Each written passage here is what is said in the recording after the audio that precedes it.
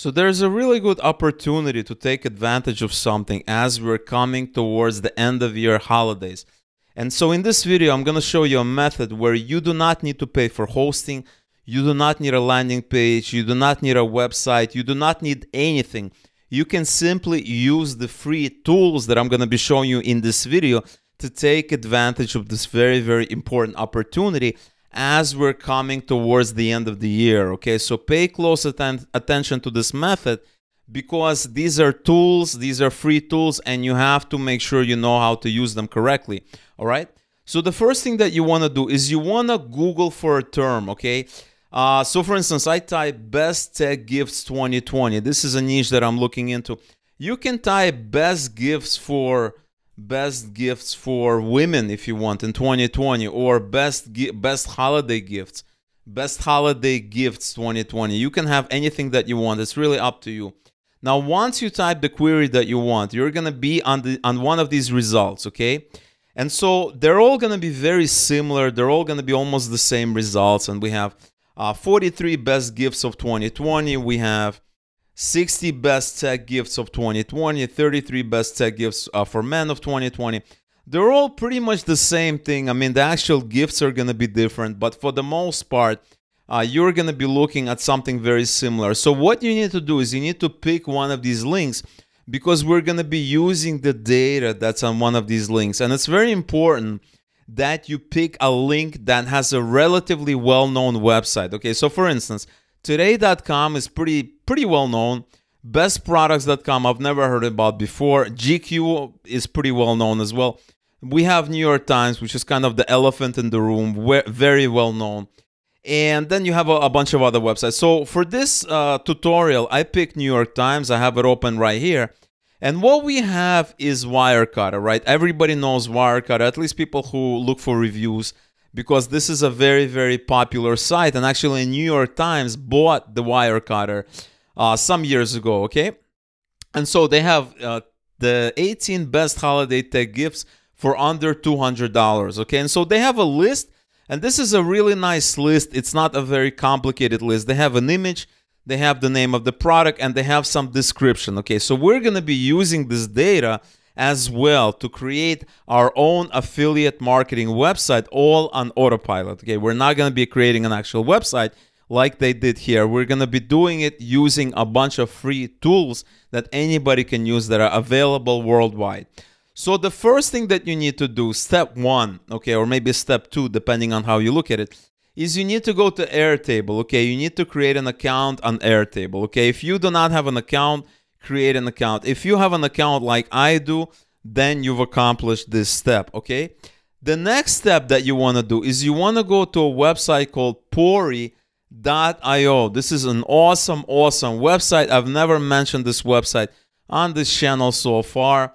I'm keeping the best for last, so to speak, but this is a great website. They have a generous free plan. And as you can see, I'm on the free plan right now. So you're going to be fine without paying for now. So you can go on Pory.io. You're going to create an account and you're going to be on the screen that looks something like this, okay? Next, what you want to do is you want to click on create a site.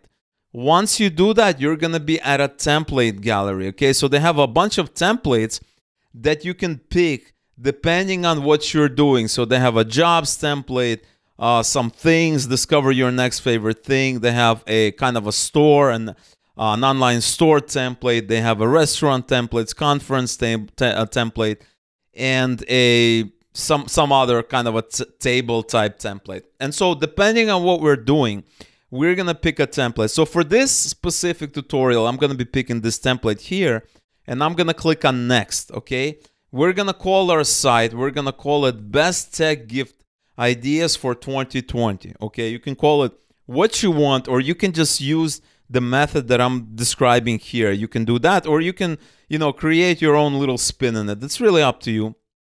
Then you're gonna click on create site. Okay, we're gonna wait a second. It's gonna go out. It's gonna create our sample site. And now what you're looking at is a site designer that's very, very easy to create a site. It's all automatic.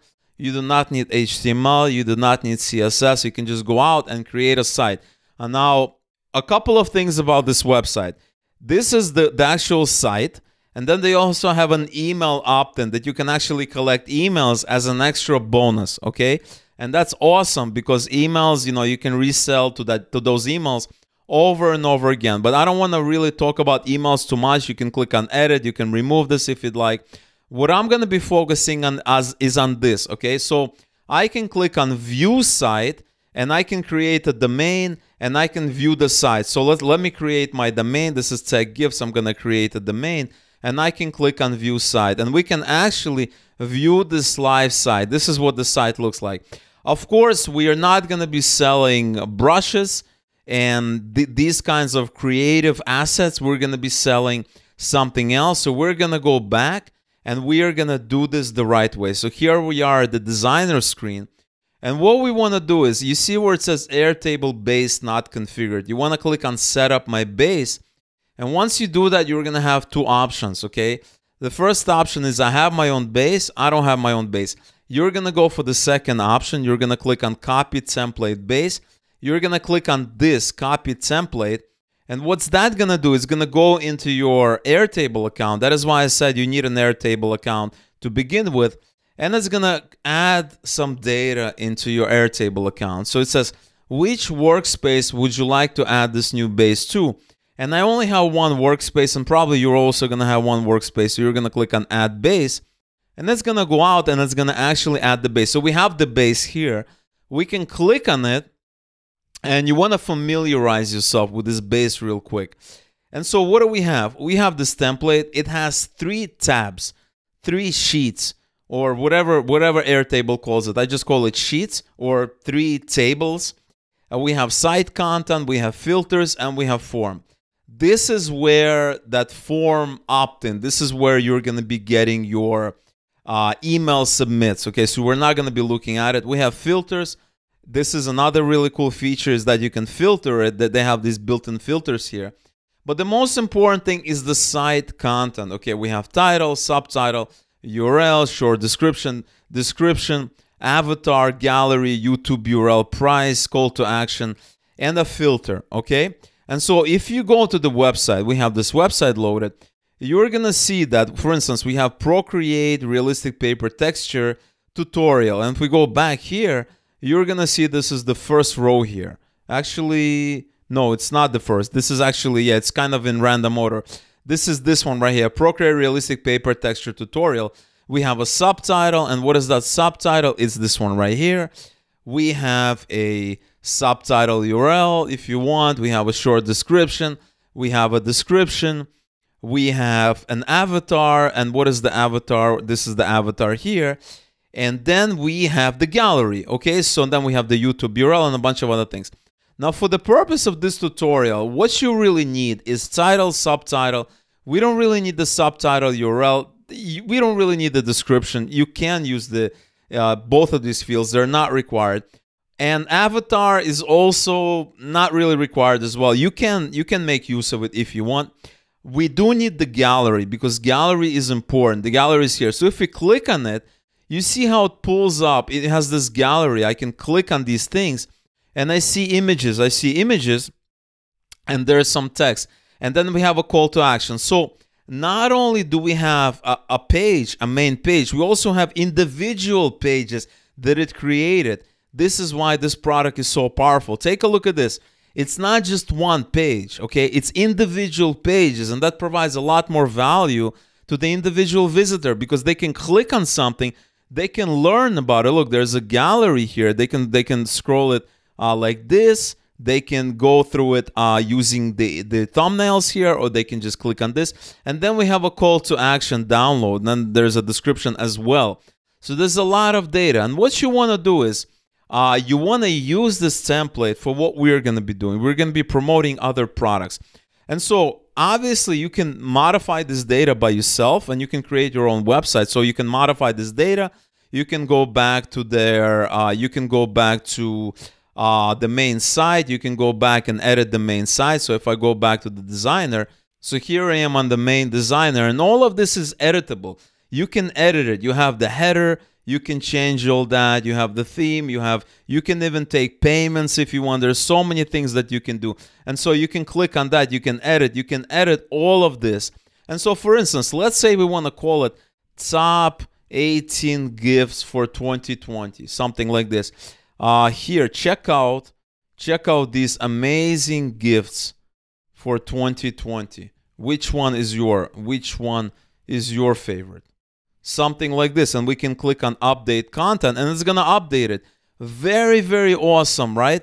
And we have a search bar. We can, we have other page settings. We have SEO settings. Lots of lots of things that we can do. We have filters. Remember, pricing, these are the filters that you can configure here. You can go in here into this filter tab and you can configure new filters, free, paid, under 10. And we can do all of that. We can use these filters to create a much better experience. Now, what you want to do is obviously you can go back. So once you've modified the title, like what I just did, you can modify the background image as well. You can click on edit and you can change the background here. You can you can get it for free from Unsplash. Uh, you can have you can have the list URL. You can modify all that. Okay.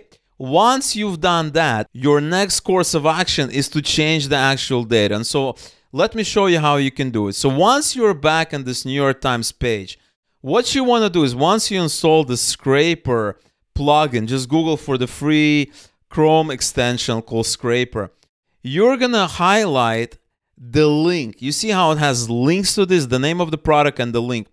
You're gonna right click on this link and you're gonna go into scrape similar, okay? Once you do that, you're gonna have two columns. The first column is not the link column. This is actually the name of the product. And then we have the URL, the URL that is gonna redirect to, okay? So what you wanna do is you wanna copy to clipboard you want to do that. You want to go back into your Airtable spreadsheet, this template, and you want to click on this. You want to add plus, and you want to do a. Uh, we're gonna do single line text. We're gonna create a field, and you want to paste it. You want to press Command V on the Mac or Control V on the PC. You're gonna paste it. It's gonna say expand the table. We're gonna click continue. And now we have the data here. This is not all the data. We're not done yet, so keep watching but we have the label. Now, what you have to understand is that we do not need this link and URL. So I am going to choose all this and I'm going to drag it higher, okay? What I'm going to do is I'm going to delete these two fields and I'm to copy, I'm to cut it, Control X, and I'm to paste it above, okay? So it's to paste it. And now we deleted those two fields that we did not need. Now, this data is temporary because our job is we need to get it to this data. Okay, so what, what I'm gonna do is I'm gonna copy this and I'm gonna go to this title and I'm gonna go to the to the first field and I'm gonna press Command V or Control V. I'm gonna click paste and that's gonna paste our new newly created data here, right? This is the data that we just imported. Then you're gonna go to the URLs. You're gonna do the same thing. You're gonna select the first field. I scroll down, I chose it, Command C or Control C and we are gonna go to the call of action, call to action. So I'm gonna go to the first one and I'm gonna press Command V. I'm gonna paste it. And now we have the call to action. So now if I go to our website, you're gonna see it's gonna look a little bit different. So if I click on view site, and so as you can see, it's now showing some of our own records, okay? So we have this Microsoft Sculpt ergonomic keyboard, we have sleep phones, effortless, we have all these things, and we can view this site. Take a look. I can click on view the site, and we're gonna see. So if I click on it, it's gonna say it's gonna say download it, but this is actually a link. So we have to check that, change that link. But this is actually a link to the store. Now you have to go out and you have to modify it with your own link. So if I go back to this Airtable here, this URL, this uh, call to action URL here, it's it's the old link that we gotten from the website you need to modify it with your own link. And so when you finish posting the data here, you can go back to the site and you can start customizing it. You can customize pretty much everything here. I mean, take a look how easy it is. You can click on this field mapping and layout settings. See, I can click on that and I can customize the card view or the detail view. So the card view is the general view, is the front page. And the detail view is this view here. So there's all these things that I can customize. So let's take a look at the card view. The card view is fine. We can uh, take away the subtitle. We can we might not want to show it, or maybe we do want to show it. We can remove the short description. We might want to remove the avatar. We're going to leave the gallery subtitle. And then we're going to go into the detail view. And there's so many things that you can do. So for instance, you can, uh, there's the YouTube URL. We don't really need that. There's a call to action URL. Do we want to show it? We do want to show it. And do what do we want to call it? We are going to call it buy it. Buy it now instead of download. And the call, call to action URL is going to be it's gonna be it's gonna be call to action URL, the one we already set up. So as you can see, it says buy it now. We're gonna click on say. So there's so many things that you can configure. And so if I click on here, it says buy it now. This is exactly what we want. Now, the most important thing, I know many of you are going to be asking about this, is how do we get the images? Okay, now I'm going to show you a couple of tricks. First of all, you can go back to our original page you can right click on this image, okay, and you can say scrape similar. And once you do that, you're gonna have a list of these images that you can copy and do what you want with them. So I'm gonna click on copy to clipboard here, and then I'm gonna go back to our Airtable spreadsheet here that I have, and we are gonna paste these images right next to the gallery. So I'm gonna click on insert left, this is going to be a URL field, okay? This is going to be a URL field. We're going to create new. And I'm to go to the first field, Control V. And now we have the images pasted here. It actually pasted it in the YouTube URL, which is absolutely fine. I'm, I'm just to delete this one. Since we don't really need YouTube URL, that's fine. I'm just to call it image URL, okay? I'm to say image URL here. And now we have the URLs of these images. I'm to remove this first one I'm to select all of these and go up and paste them here. I'm to click paste. And now we have the images that are lined up with the titles, okay? That is perfectly lined up. Now, what you need to do is this is not going to be good enough. You can't just have image URLs. You need to have them look like a gallery. So there's a couple of things that you can do. One option is you can drag this over, okay? You can drag it over and you can drag an image to our Airtable sheet. So let me show you how this works. So I can click on this. So let's say this is the first image here. I can drag it here. So I can drop and drag it and and drop it over there. And now I'm gonna have a new image. It's gonna upload it, and then we're gonna see this new image here. And then you can remove the old image as well. So for instance, this is what I see now. If I click, if I expand this field, I have two images here. I can just remove the old one, or I can create a brand new field to do that. Okay, so for instance, I'm gonna go to the second image. I'm to drag it to the second field here and it's to upload. I'm to expand the field. It's to upload it and then I can remove the old ones so that this current one it shows up. So we have all of this. I'm to remove this one, remove this one, remove this one, remove this one, and remove this one. Now we just have what we needed. And this is that Power Core Fusion 5000. We have the link for it, etc., etc. Now there's even a better way to do it, okay? If you Google for this tool, this is called Convert Image Link to Attachment in Airtable. It's free. This product is free, but you can pay what you want to support me. This person, this this guy right here, he wrote a script that enables you to take any URLs in your Airtable. For instance, we can take this image URL and convert it into a gallery URL absolutely free, okay? So I'm to have the link to this tool in the description if you are interested, or you can just use the manual method to do it. And once you finish doing everything, you're gonna have stuff that looks like this. So for instance, we did this one, we can click on view more, we're gonna see more of this. This one is done. So for instance, this Anker Power Core Fusion 5000, you can rename, you can remove the avatar, you can remove the name. Actually, you can have a company name. So for instance, instead of Anker Core, let's go back. So we have this Anker Core the second, we, we're just going to call it Anker. That's the name of the business. We're not using the subtitle URL. You're going to configure that. You can have a description here. Maybe this is a short description, something like this, and we can go back to the site and see how it looks. So you see, you see how it says Anker, and then we can refresh it, and you're going to have the short description here.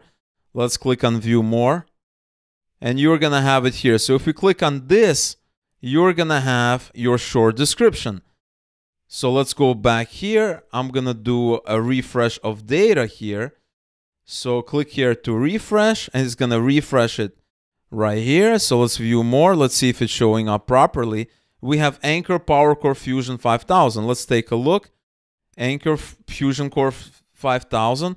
We're gonna we're gonna go back here. We're gonna take a look at how it's set up. We're gonna click on this. We're gonna click on edit our fields to make sure we've mapped it correctly.